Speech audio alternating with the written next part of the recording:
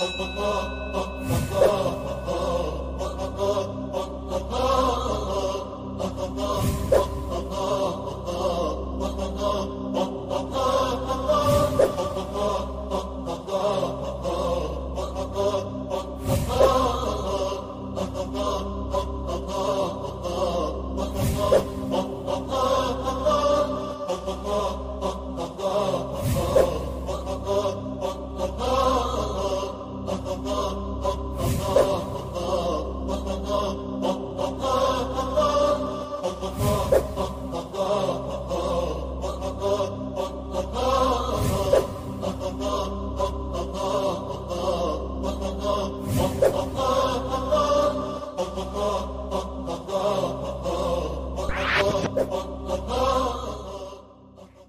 نام خداوند جان آفرین شاگردای خوب سلام. وقتتون بخیر. انشاءالله که حال همه شما عزیزان خوب باشد درس گذشته را به خوبی مطالعه کرده باشید. و با چهارمین جلسه مضمون بیولوژی مهمان خانه های شما هستیم.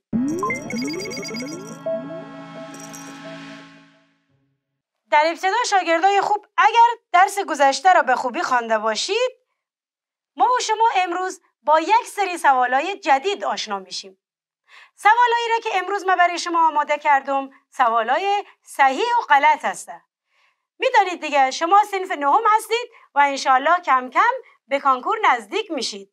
سوالات تشریحی که در جلسات گذشته با اونها آشنا شدیم. یک نمونه سوالات صحیح و غلط داریم یک نمونه سوالات چارگزینه ای داریم و یا سوالات جای خالی داریم. سوالات امروز ما از نوع سوالات صحیح و غلط هستند.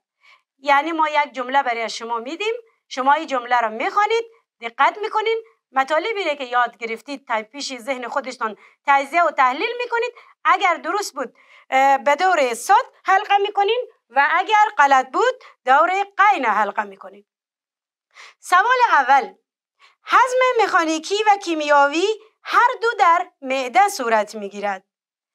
حالا شما فکر کنین اگر صحیح هسته دور صد و اگر غلط هسته دور قین حلقه کنین. کسانی که درست برای ما جواب دادن میدانه که این, این جمله جمله صحیح هسته و ما به دور صد حلقه می‌کنیم. سوال دوم اپندیکس زایده کوچک متصل به اول امعای کوچک در قسمت تحتانی شکم به طرف راست است. ای چی؟ ای صحیح بود یا غلط؟ آفرین برای از اونایی که درست جواب میده. این غلط هسته. چرا این غلطه؟ ببینین کلیات از این صحیح هسته. موقعیت اپندیکس درست برای شما میگه. قسمت تحتانی شکم به طرف راست. اما دقت داشته باشید که به اول امعای بزرگ اپندیکس متصل است نه به اول امعای کوچک پس همه امعای کوچک و بزرگ باعث شده که این جمله ما و شما غلط باشه سوال سوم جگر و پانقراس افرازات خود به خود را به معده میریزند ای چی؟ ای صحیح است یا غلط؟ آفرین برای اونایی که درست جواب میدن این جمله هم غلط است چرا این غلط است؟ به خاطر از که جگر و پانقراس و صفرا. افرازات خود به داخل اصناعشر دوازدهه یا به عبارت دوازده سانتی متر اول روده امعای کوچک میریزه. این گفته به داخل معده میریزه. سوالات باید کامل و دقت و به حواس جمع بخوانین و خوب بازو تمرکز کنید که آیا صحیح هسته یا غلط. سوال چهارم. امعای کوچک با چین خوردگی مخمل مانند از درون و داشتن ویلی سطح جذب را 600 برابر می‌کنه حالا یاد گرفتید که یک کم بیشتر دقت کنید. آفرین بازم به او کسایی که درست جواب میده این جمله کاملا صحیح هسته پس من به دور گزینه ساد حلقه می‌کنم سوال پنجم وظیفه دندانه های انیاب پاره کردن غذا است. این صحیح است یا غلط؟ من میگم این گزینه این جمله صحیح هسته. پس ما حلقه ای که به دور غلط کشیدیم پاک می‌کنیم. این جواب ما صحیح هسته چرا؟ ما چند نوع دندان داشتیم. چهار دندان پیش رو سنایا نام داشت. کار سنایا تکه کردن غذا بود. دو دندانی که در سمت راست و در سمت چپ دندانهای سنایا بود انیاب نام داره و کار از اونا پاره کردن غذا هسته. پس این جمله ما و شما صحیح هسته. سوال ششم. در ساختمان دندان زیر مینای دندان آج قرار داره. ای هم؟ بله درست است صحیح بود. سوال هفتم. قدرت جدار معده دو نوع آنزایم هضمی افراز می‌کنه. ای هم صحیح هسته. سوال هشتم مایع صفراوی در جگر ساخته در کیسه صفرا ذخیره و به پانقراس میریزه. این کاملا درست گفتید این دیگه غلط است. یک غلط بسیار واضح هسته. برای از که ما در جلسه گذشته بسیار هم تاکید کردیم که مایع صفراوی در داخل جگر یا کبد ساخته میشه به داخل کیسه صفرا ذخیره میشه و به داخل اسناعشر یا ابتدای امعای کوچک میریزه.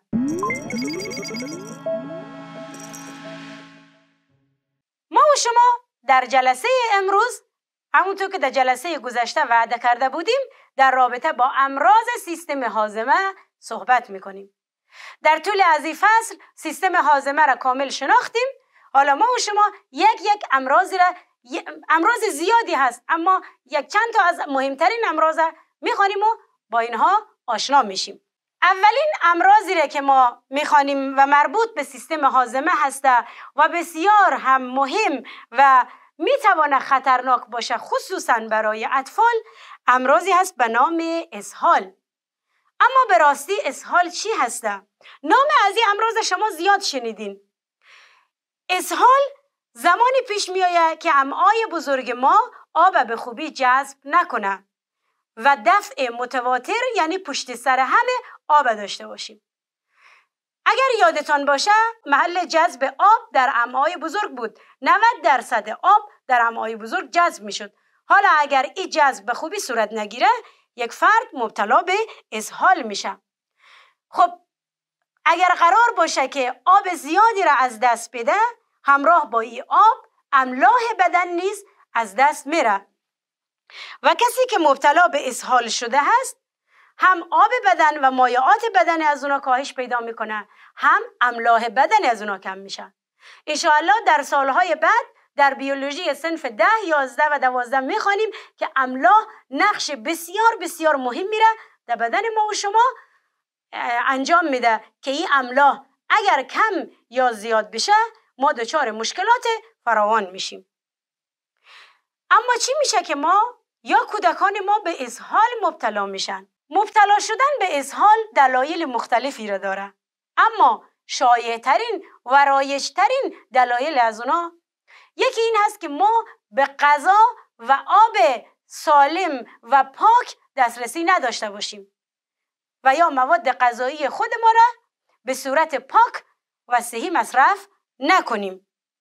اگر مواد غذایی ما و شما به بکتری ها آلوده باشه این بکتری ها در بدن ایجاد امراض اسهال می‌کنه. اما اگر زمانی کودکان ما به اسهال مبتلا شد فراموش نکنیم که مهمترین کاری که ما برای از اونا باید انجام بدیم اینه که اونها را به نزدیکترین مرکز صحی ببریم و تحت تداوی دکتر صاحبای عزیز قرار بدیم. اما در این فاصله ما می‌تونیم کارایی را انجام بدیم که خطر اسهال کمتر باشه. یک مایعات کافی برای از اونها بخورانیم این مایعات باید حتما ساده ترین از اونها آب جوشیده باشه. آب بجوشانیم و بگذاریم سرد بشه و زیاد به طفلی که اسهال شده بدیم چون او خیلی زیاد آب از دست میده و زیاد تشنه هسته. یک مایعات دیگه که به ما خیلی کمک می‌کنه که جلو و پیشرفت مرض اسهال در اطفال خصوصا بگیریم پودر اوارس هسته. اما این پودر آریس شما زیاد نامش شنیدین.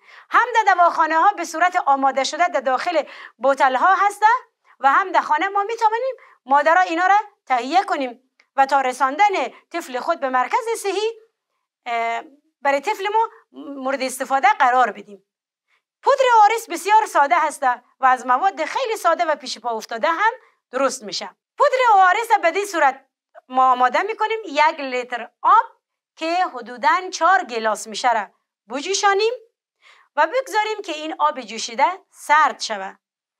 دو مشت آرد مقدار کمی نمک به داخل از این آب جوشیده شده حل کنیم و ایره با قاشق یا با گلاس آهسته آهسته هر زمانی که طفل تشنه بود و از ما سراغ آب گرفت به او بدیم تا او بخوره.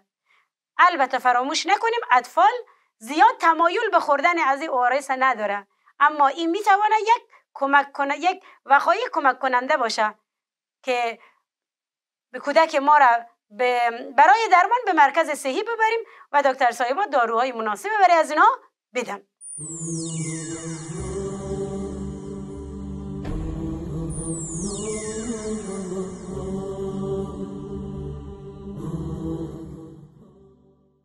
اما بیماری دوم که مربوط میشه به سیستم حازمه ما و درست برعکس ازحال هسته قبضیت نام داره.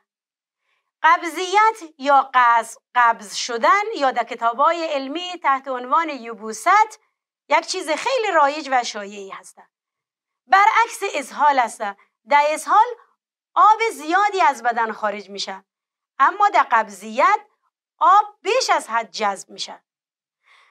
مکانیسم یا شیوه سیستم حازمه ما خصوصا در امعای بزرگ طوری هستش که جهت خروج مواد قایته یا مدفون نیاز به مقدار آب هسته تا عبور این مواد آسان باشه اما اگر این آب خیلی زیاد جذب بشه و این آب در داخل امعای بزرگ باقی نمانه دفع مواد قایته با ناراحتی و مشکلاتی روبرو میشه که این به نام قبضیت یاد میشه.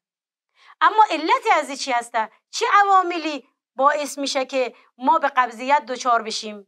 یا جذب آب بسیار زیاد صورت بگیره عوامل مختلفی هسته من جمله مهمترین این عوامل که در ایجاد قبضیت موثر است و در کتاب اشاره شده کاهش حرکات روده است.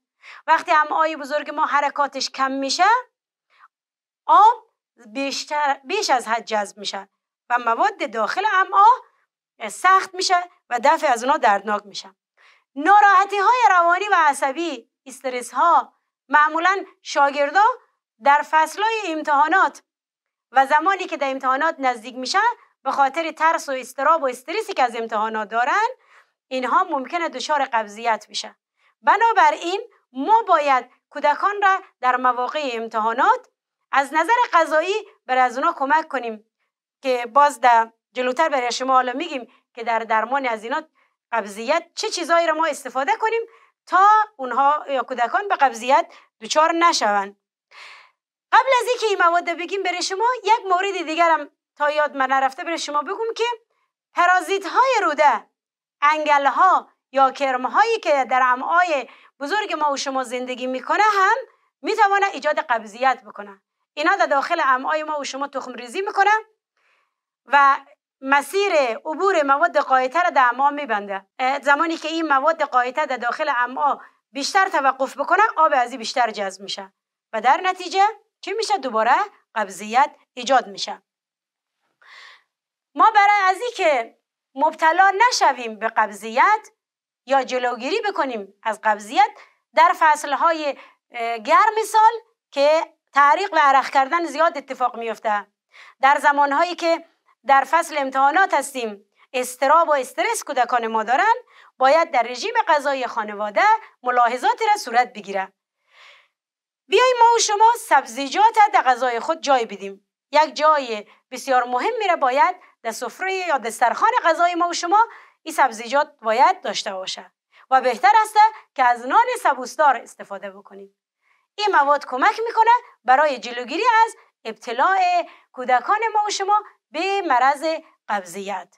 و در آخر فراموش نکنیم که اگر به قبضیت دچار شد حتما حتما جهت تداوی کودک به نزد دکتر ببریم و از داروهای توصیه شده نیز در کنار غذاها و سبزیجات و نان سبوسدار استفاده بکنیم.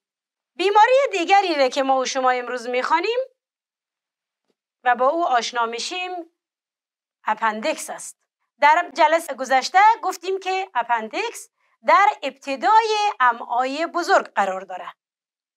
حالا ما برای شما موقعیت اپندیس در بالای تخته نشان میدم تا به خوبی او را بشناسید برای ازی که محل اپندیس بسیار مهم است. که ما درد این بیماری اپندکس را هم باید تشخیص بدیم.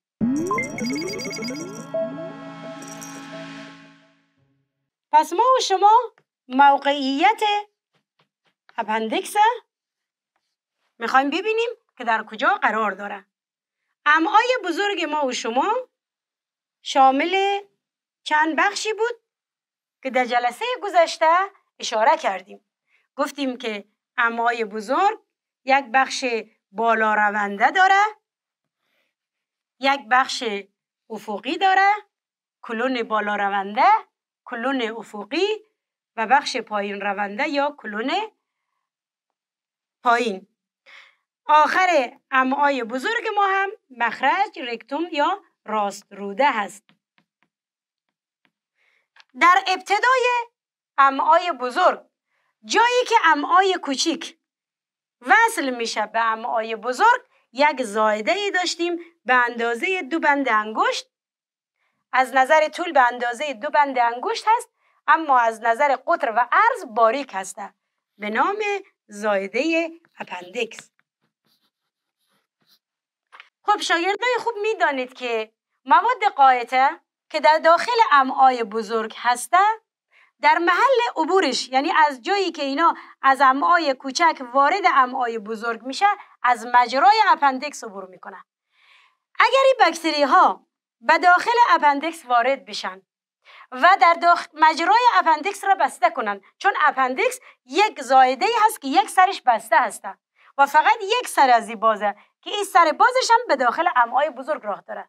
وقتی بکتری ها به داخل اپندکس آمدن و مجرای اپندکس بسته کردن حالا در داخل این زایده ای که به اندازه دو بند انگشت ما و شما هست شروع می‌کنه به تکثیر شدن. چون میداریم سرعت تکثیر بکتری ها هر 20 دقیقه است و بسیار بالا هستند اینا شروع می‌کنه به تکثیر شدن. وقتی که اینا شروع کردن به تکثیر شدن عفونت اپندکس آغاز میشه و همزمان با این عفونت دردهایی را در قسمت تحتانی شکم در سمت راست کسانی که این بیماری را می‌گیرن احساس می‌کنن. 24 ساعت فرصت هسته برای از که این اپندکس عفونی از بدن خارج شود. چون اگر این را از بدن خارج نکنه اپندکس در داخلش اونقدر باکتریا زیاد میشه که اپندکس پاره میشه. چون مجرای اپندکس بسته است دیگه.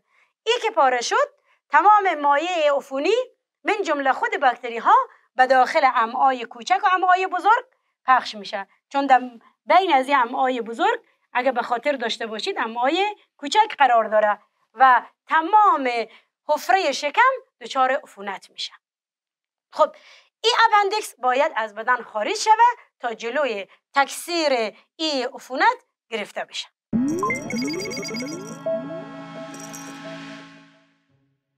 علائم ابتلا به اپندکس شامل این مواردی هست که من خدمت شما میگم. بی اشتهایی هست فردی که اپندکسش عفونی میشه تمایلی به خوردن مواد غذایی نداره. همونطور که گفتم درد بسیار شدیدی در ناحیه ناف. من موقعیت ای درد در تصویر برای شما در مابین دست از دکتر صاحب به خوبی نشان دادیم که شما موقعیت درد بدانید همراه با درد شدیدی که در قسمت تحتانی سمت راست شکم هسته فرد مبتلا استفراغ های شدید می‌کنه. و یک راه تشخیص افتراقی هم داره که اگر یک زمانی کودکی از ما و شما در خانه اظهار کنه که این درد در این قسمت داره ما برای شما یک راهی را یاد می‌تونم که کمک می‌کنه به ما. البته باز هم تشخیص قطعی با دکتر هست اما توجه ما را جلب می‌کنه که ما این قضیه را جدیتر بگیریم. اما این راه تشخیصش چجوری هسته؟ کودک به پشت روی زمین میخوابانیم میگیم پای خود خم کنه به داخل شکم. یعنی از زانوی خودش بگیره زانو را بیاره به شکم برسانه. بعد یک دفعه که پای خود راست کنه. همین حرکت جمع شدن پا به داخل شکم باعث میشه که همون اپندکس جمع شود و زمانی که پای خود یک دفعه صاف می‌کنه این زایده یا پانتیس کشیده میشه و درد شدیدی را احساس می‌کنه. این کودک این کار خیلی دردناک هسته و نمی‌تونه انجام بده خب اگر خدای نکرده کسی این علائم داشت ما باید او را به نزدیکترین مرکز صحی ببریم و از طریق معاینات لابراتواری خون و معاینات تلویزیونی سونوگرافی این بیماری تشخیص قطعی ازی داده میشه و تنها راهی ازی قطع عضو اپندکس هسته طی عمل جراحی. اما می‌دانید که بهترین راه مبتلا نشدن به این امراض وقایه و پیشگیری این امراض هسته. ما سعی کنیم که وقایه ها را جدی بگیریم. راه های جلوگیری از امراض جدی بگیریم تا به مشکلات و این امراض دچار نشیم. اما این وقایه چی هست؟ چه راههایی هسته که ما با استناد راه راهها می‌تونیم جلوی بروز امراض در خود و دیگران بگیریم؟ مهمترین این موضوع یکی حفظ و صحه شخصی و محیطی هسته خب ما و شما باید در محیط زندگی خودمان این مسئله را در نظر بگیریم. محیط زندگی ما باید کاملا پاک باشه.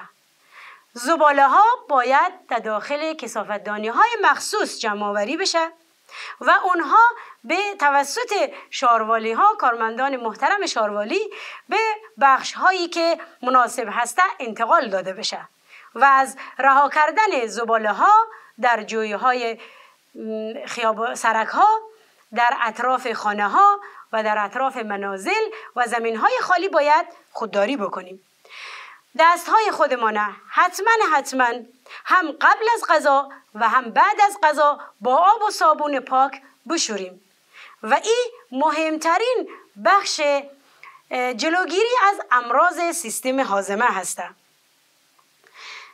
یک زمان دیگری هم که حتما حتما باید بعد از او دست ها شسته بشه بعد از اجابت مزاج یا بعد از رفع حاجت هسته که حتما در داخل حولی یا در کنار نعل آب مایه دستشویی یا صابون گذاشته شده باشه و به کودکان توسط والدین آموزش داده شده باشه که بعد از اجابت مزاج حتما دستایشان با آب و صابون پاک بشورن.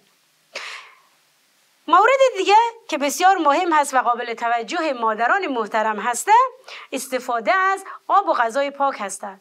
ما باید حتما اگر به آب پاک و صحی دسترسی نداریم آب را بجوشونیم برای اطفال. و همچنین این هست که ظروف غذای ما هم شسته شده باشه و پاک باشه. بعد از هر وعده غذایی حتما این ظروف شسته باشه. حتی ما در بسیاری از توصیه ها داریم که میگه ظرف های غذای خودتان بعد شستن در معرض نور مستقیم آفتاب قرار بدین نور مستقیم آفتاب هم می‌توانه عوامل بیماریزا را بر روی از این ظرف ها از بین ببره. مورد دیگه که احتیاج به توجه و دقت داره این هست که ما میوه ها و سبزیجات ضد کنیم. تنها شستن از این میوه ها و سبزیجات با آب ساده نمی‌تواند جلوی امراض مختلف بگیره. ما باید این میوه ها و سبزیجات با استفاده از مواد ضد عفونی کننده مانند کلورین یا اگر به اینا دسترسی نداریم در هر خانه ای نمک پیدا میشه. اینها را ابتدا گلولای از اونها را بگیریم و سپس اونها را یعنی سبزیجات به داخل یک لگنی که آب داره و نمک نیز اضافه کنیم. اینها را به مدت پنج دقیقه الی ده دقیقه در داخل آب و نمک قرار بدیم و بعد اینها از سطح ای آب به آهستگی جدا شود و شستشو داده شود و بعد مورد استفاده قرار بگیره. و یک نکته دیگر هم فراموش نکنیم که در هنگام خوردن غذا غذا را باید خوب بجویم و از عجله کردن در خوردن غذا هم بپرهیزیم تا دهان و دندانهای ما فرصت کافی را برای خورد کردن و ریزه کردن مواد غذایی داشته باشد مواد غذایی باید خوب در دهان جویده شده باشه تا به راحتی بلعیده بشه و هضم اونها به راحتی صورت بگیره.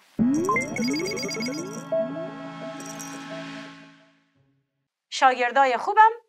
امروز چیزای خوب و جدید زیادی را یاد گرفتیم. بیماری ها را آشنا شدیم. راه های حفظ و صحه شخصی را یاد گرفتیم. راه های حفظ و صحه محیطی را یاد گرفتیم. ما و شما نباید فراموش کنیم که ما هر کدام از ما به عنوان یک عضو یک جامعه هستیم که هر کدام از ما اگر در حفظ محیط پاک و سالم زندگی خود ما و محیط اطراف زندگیمان دقت کافی را داشته باشیم یک شهر پاک و تمیز و پاکی را خواهیم داشت. شاگردای خوب انشالله درس خودم مطالعه بکنین اگر کدام جای سوالی برای شما پیش آمد از طریق شماره واتساپ دو سفر 964 780 255 چهل سزده می‌تونین سوالات خود از ما بپرسیم تا جلسه بعدی همه شما شاگردای خوبه. به خدای بزرگ و مهربان می سپارم خدایا رو نگهدار شما.